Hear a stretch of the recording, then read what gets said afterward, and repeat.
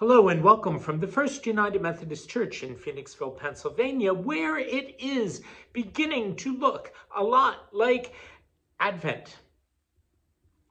Advent begins next week. And one of the things that we do during Advent, we need to start actually before Advent. We have a bell tree at the back of the church in the narthex. And on the bell tree are two different colored bells supporting two different local organizations. Red bells, like this one, have Christmas wishes from local children that have been gathered together from by the Phoenixville Area Community Services. So for instance, it will give, whether it's a boy or a girl, it will give their age, their clothing size, uh, preference of a toy, things that would be useful in determining what a good present or two would be for them. And then if you could, and you'd like to, take a bell, get a present, wrap the presents up, and return them with the bell attached by December 12th. Then we can make sure that the elves get them and that they get where they're going on time. So again, the red bells are for the kids through PACS. The yellow bells, which are also there, are also uh, one of our projects. The mission committee is inviting us to help provide material support right now or donations, they'd be welcome to, for the clinic, which is a local group that uh, provides medical care for people who are either uninsured or underinsured or who have unsupported medical needs if they do their best to meet them if they can. And so the bells there have items on them like Imodium, aspirin, children's stickers for when they get a shot, uh, all sorts of things that uh, help a clinic to do a good job, as they do. And those donations can be left in the box behind me the one with the stripes. Or if you prefer, you can go uh, to sign up for any of these things if you can't get in to pick up a bell uh, at signupgenius.com and look for First United Methodist Church of Phoenixville and Belltree Gifts. There's an actual link that I have, but it's so full of numbers and, and convoluted things, I think it would be better just to go to signupgenius.com and take it from there. If you're watching us from a different place, I would encourage you to find a similar project in your own town uh, because the need is out there. And so is the generosity. Advent begins next week.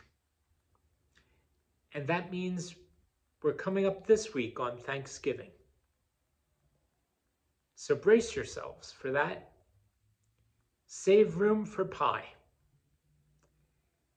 And one good way to work up an appetite is to sing loudly wherever you are as we worship. This week, as we come together, it's in anticipation of the holiday on Thursday, Thanksgiving. For many people, it's a time of travel. And Psalm 122 was a psalm that was written for people who had traveled to Jerusalem to give thanks to God. We'll read the first four verses responsively. I'll read the parts that are in plain type and ask you to join in, responding with the parts that are in italics. All of us coming into the presence of the Lord. I was glad when they said to me, Let us go to the house of the Lord. Our feet are standing within your gates, O Jerusalem. Jerusalem, built as a city that is bound firmly together. To it, the tribes go up, the tribes of the Lord, as was decreed for Israel, to give thanks to the name of the Lord.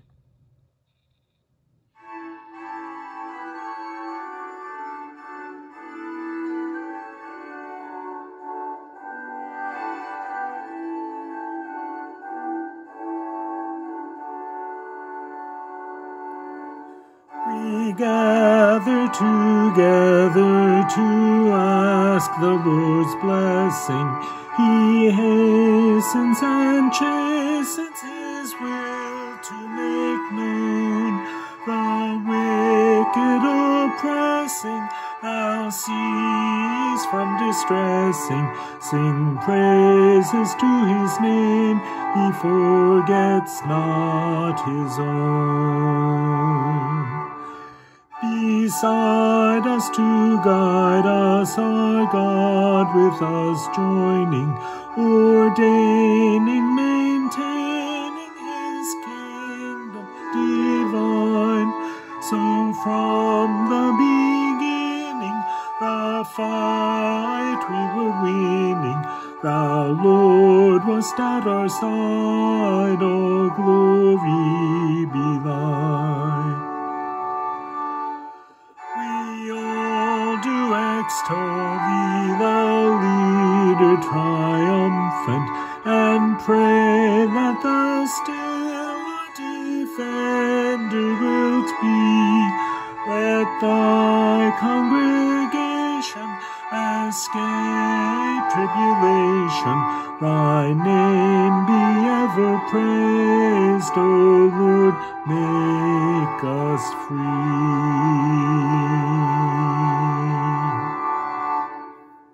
This week, our scripture comes from Hebrews chapter 11, verse 32, through chapter 12, verse 2. And what more should I say?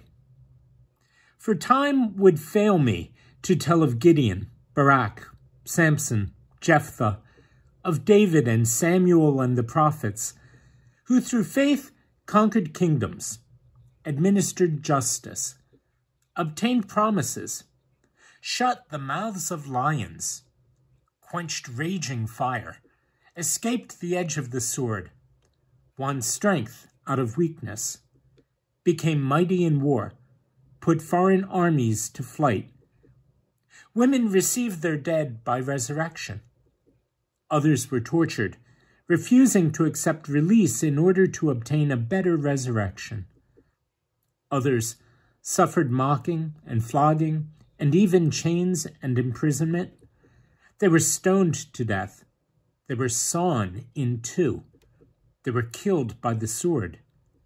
They went about in skins of sheep and goats, destitute, persecuted, tormented, of whom the world was not worthy. They wandered in deserts and mountains, and in caves and holes in the ground. Yet all these, though they were commended for their faith, did not receive what was promised, since God had provided something better, so that they would not, apart from us, be made perfect. Therefore, since we're surrounded by so great a cloud of witnesses, let us also lay aside every weight and the sin that clings so closely, and let us run with perseverance the race that is set before us, looking to Jesus, the pioneer and perfecter of our faith, who, for the sake of the joy that was set before him, endured the cross, disregarding its shame, and has taken his seat at the right hand of the throne of God.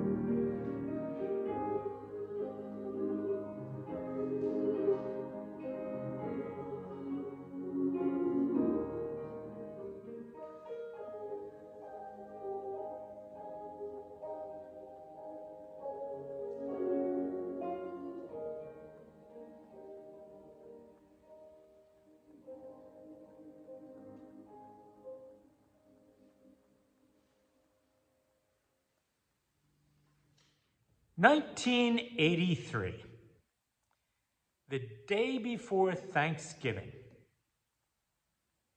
Three of us from my hometown were meeting up in Boston to drive home for Thanksgiving. There was John that I'd graduated with, and he was studying over at MIT. And Chip was a grad student at Boston where I was an undergrad.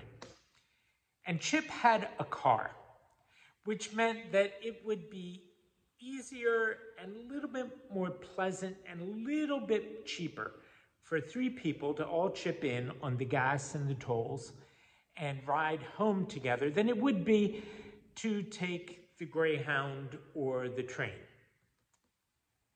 And so we loaded up on Doritos and Pepsi, and we met in Kenmore Square, and Chip pulled up, and he had this white Chevy, I think it was a Chevy. I remember it was white, and it had a red interior, and it was kind of beat up. But we threw our bags in, we climbed in, we headed out the Mass Pike, and we were getting close to the Connecticut border, probably somewhere around, um, oh, 10 or so in the morning. And John asked Chip if he wouldn't mind turning on the radio. And that's when Chip explained that his car, which obviously had some issues, uh, had a radio that didn't actually work. But his tape deck, for some reason, did. And so he took out a cassette and jammed it into the tape deck, and he started playing uh, Motown's greatest hits. We drove along, side A finished. Chip flipped it out and turned it over. Side B started, and then side B eventually finished. And that's when we realized there was only one cassette in the entire car. But he flipped it over to side A and started again. And then side B. Somewhere around Hartford, we stopped for lunch, but McDonald's didn't sell music. So back into the car, side B finished, side A again. Now, by this time, Tears of a Clown was being burned into my brain. Ain't No Mountain High Enough was no longer my friend, and I was losing all R E S P E C T for the tunes long before we started the approach to the Tappan Zee Bridge and found ourselves in a 20 or 30 mile traffic jam on the busiest travel day of the entire year. At one of the biggest bottlenecks in the whole Northeast corridor. That was when the gas gauge decided it was going to dip. Now, you know how when that happens, you begin to debate with yourself whether it will be better to get off the highway now and fill up, or whether you want to make it through the, through the mess you're in and trust that eventually there will be enough fuel to get you through to where you can move again. And then when you do decide that no, that second option would probably be the wrong one, you realize that you are now in the wrong lane to get off the highway. And nobody in the right lane is going to let you get over because nobody in the left lane was willing to let them on at the last on ramp. And so you're looking around nervously, wondering what's going to happen. And all the while, Martha and the Vandellas are advising somebody else Jimmy, Jimmy Mack, you better hurry back. What a trip. What a trip. But we did make it home. And predictably, on Black Friday, I didn't care how crowded the Springfield Mall was.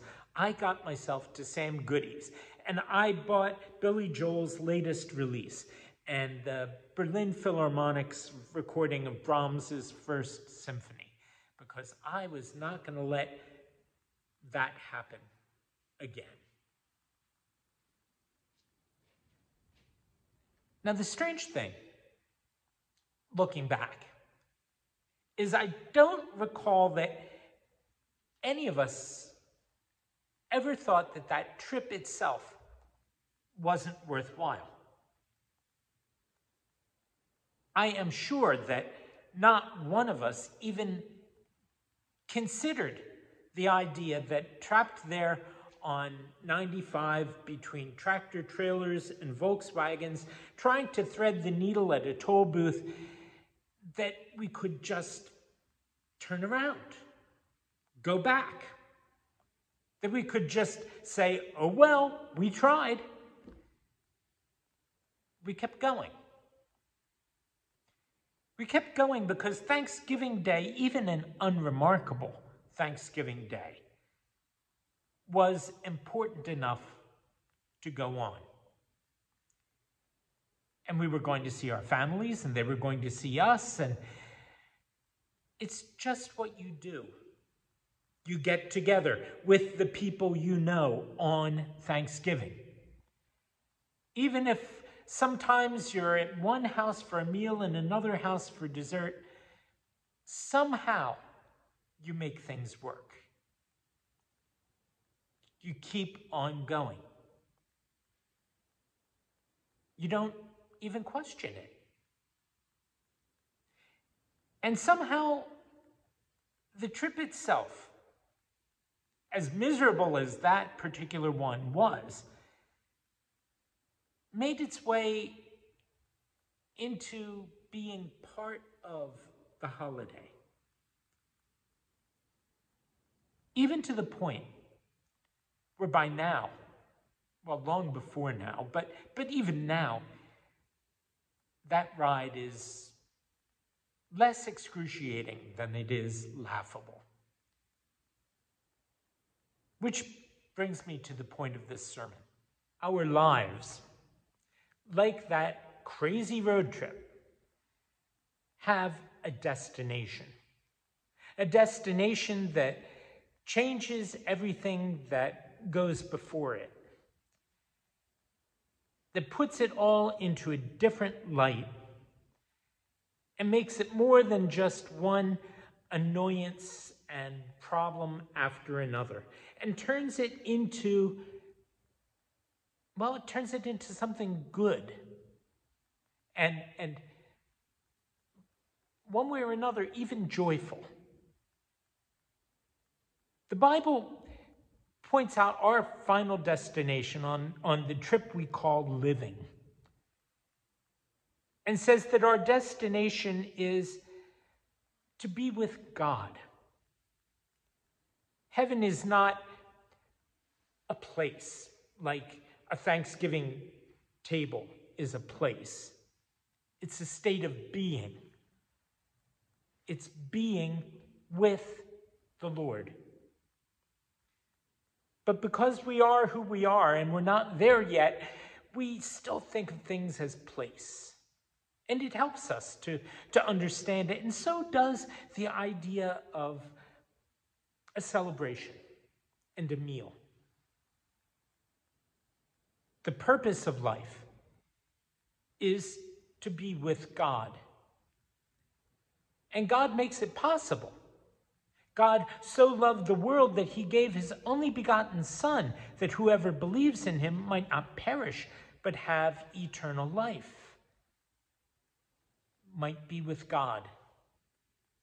For God didn't send his Son into the world to condemn the world, but so that the world might be saved through him. And when that happens, when that happens, the Bible describes that kind of life in terms of a feast, in terms of a holiday, in terms of a huge banquet, a, a wedding, wedding reception, puts all of those things out there because those are happy occasions. Those are times when we come together as people. And it talks about that state of being with God, that celebration, that feast, that banquet, like some great Thanksgiving day. One where nobody gets into any arguments across the table, one where nobody ever forgets the punchline to the joke they were telling. The kind of celebration where the mashed potatoes are always hot and the gravy is never lumpy and nobody ever has to do the dishes.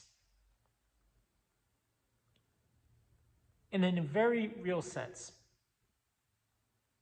The struggles that we go through now, the problems of the trip, great and small, they all become part of the joy that is around that table. And there at the table may even be some of those obstacles with us people who might have been unable to stand each other. People who would see one another in a room and walk out. May, in God's presence, sit elbow to elbow and laugh. People who may have counted one another enemies, both of them all of them, reconciled by a mutual recognition that their sins have been wiped away by Christ, and that they are at peace with God and at peace with themselves, and that somehow that means they are at peace with one another. And so they're at that table, they're at that destination, they're in the celebration. At one end is the prodigal son that Jesus talked about going out and wasting his life and throwing away everything that had been given him. And at the other end, the elder brother who had stayed and taken care of things and did what he was supposed to do, but found himself resenting everything that his younger brother was doing. The two of them that just never could make terms together at the Father's table. And both happy to be there and both happy to see the other. Both at home. At this season, at least in this country, we tell a story about a, a small group of believers who followed their conscience across the North Atlantic naive, blundering Europeans who had absolutely no conception of what a North American winter would look like. Part of a group that would not survive, half of them, until springtime. People who were ignorant of the skills that they would need simply to survive where they landed which, by the way, was even hundreds of miles off course from the place they had started to find. People we call pilgrims. People who had no business being where they were. And in our traditional iconography, sitting down with them are the people that saved their lives and yes, people they would eventually turn on, but who initially welcomed them. And that picture, before things went bad, but that picture of people sitting and sharing what they had. That's a picture of the kingdom of God. We call these folks pilgrims. And we're not at all unlike them. Pilgrims are people that are on a journey, and they may not even know what they're doing. They may blunder along. They may act on instinct and have very bad instincts to act on. They may be like a bunch of late adolescents, early young adults piling into a car and not really understanding or having put much thought into it. But still going and moving. On a road trip, hey, you can't stop that. We're all pilgrims, one way or another. And sometimes, if we're smart, we'll, we'll look around us and we'll, we'll ask, Do you know where you're going to?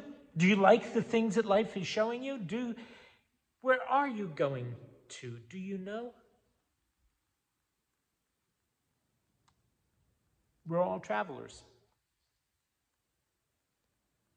heading home to God. Pilgrims who absolutely all face unexpected obstacles and things that we never even gave a single thought to throughout our whole life. Finding most of our problems are our own fault, our own sins, but also finding ourselves helped along by the grace of God, sometimes directly through the Holy Spirit, sometimes helped along by other travelers we meet along the way. And throughout life, those situations that we meet and those things that we go through form us and shape us and teach us if we're smart enough to learn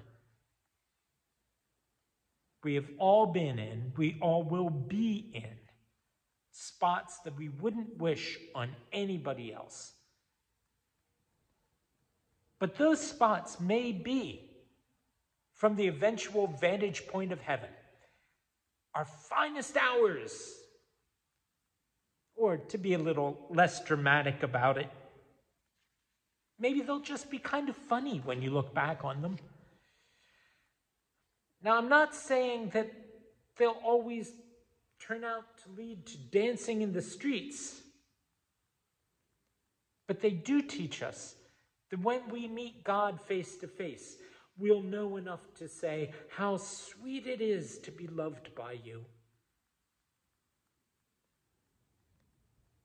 There are lots of examples can be found in anybody's life.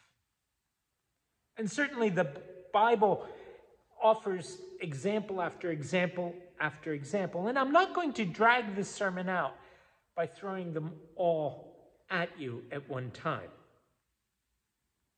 For time would fail me to tell of Gideon, Barak, Samson, Jephthah, of David and Samuel and the prophets, who through faith conquered kingdoms, administered justice, obtained promises, shut the mouths of lions, quenched raging fire, escaped the edge of the sword, won strength out of weakness, became mighty in war, put foreign enemies to flight.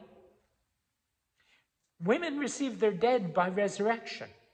Others were tortured, refusing to accept release in order to obtain a better resurrection. Others suffered mocking, flogging, even chains and imprisonment. They were stoned to death. They were sawn in two.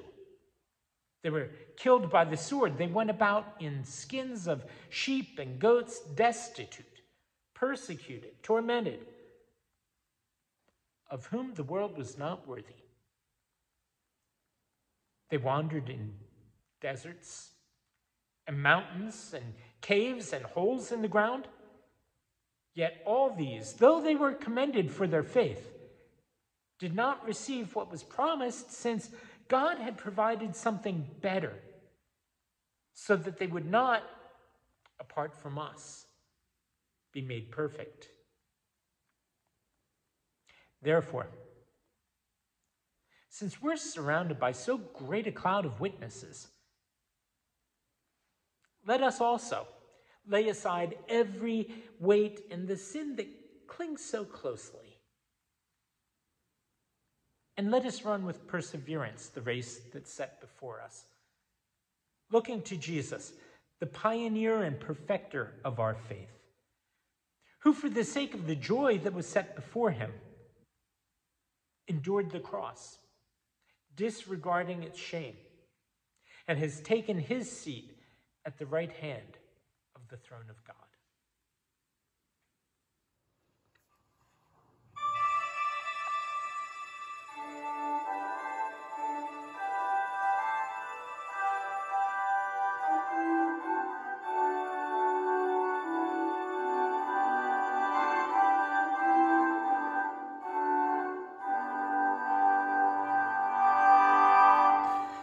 Guide me, O thou great Jehovah, pilgrim through this barren land. I am weak, but thou art mighty. Hold me with thy powerful hand. Bread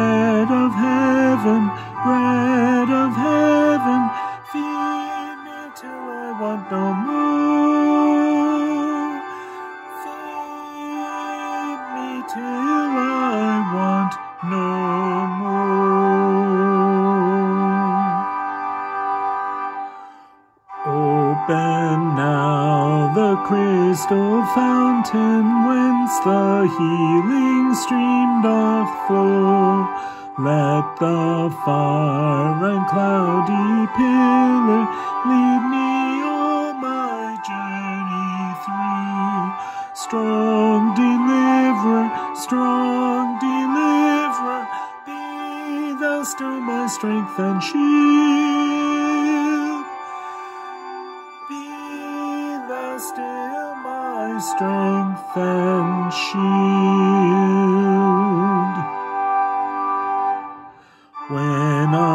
tread the verge of Jordan, bid my anxious fears subside.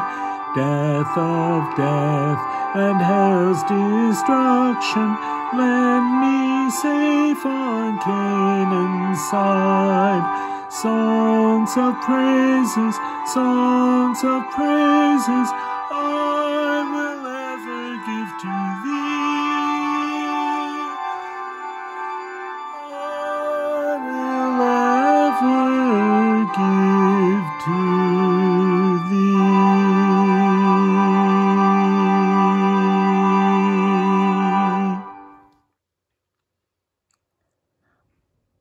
invite you to join me in prayer.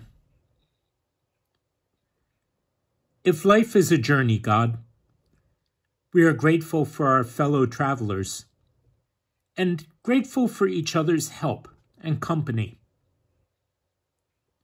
If life is a journey, God, we are grateful both for familiar sights and for discoveries that each day holds. And yet, along the way, there are spots where the path turns to mud or we lose our way, when we grow tired, when it gets dark and cold. So, Lord, we pray for everyone who is troubled and everyone who is weary or ready to give up. Renew the joy of the journey, Lord, which leads us in the end to you. Amen.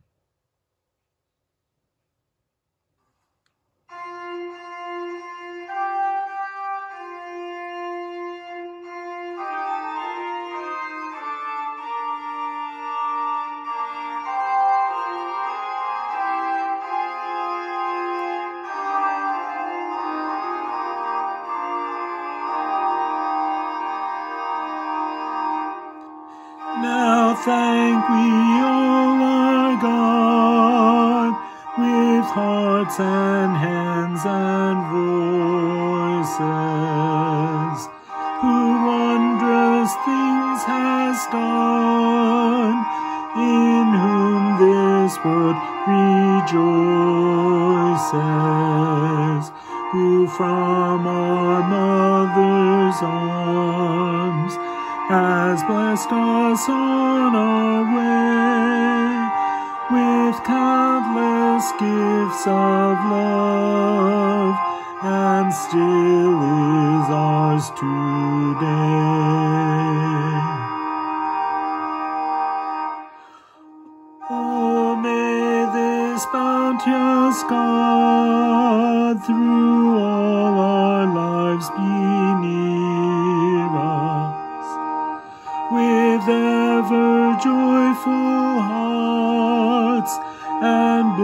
blessed peace to cheer us and keep us still in grace and guide us when perplexed and free us from all ills in this world and the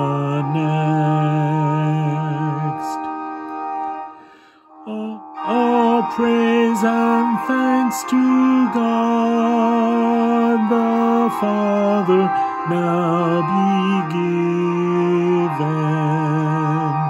The Son